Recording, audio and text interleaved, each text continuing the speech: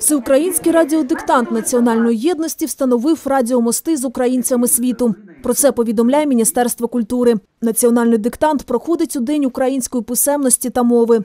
У проєкті взяли участь українські митці, науковці, громадські діячі, політики і всі охочі.